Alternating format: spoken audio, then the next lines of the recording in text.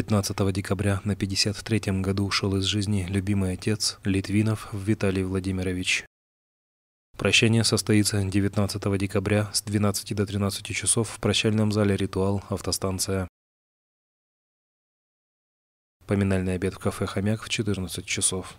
Помним, любим, скорбим.